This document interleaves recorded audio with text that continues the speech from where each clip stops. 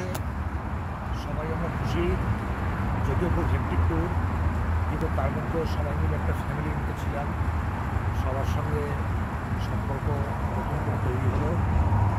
আর আমাদের ম্যানেজার পাপানের কথা নতুন করে কিছু বলার নেই।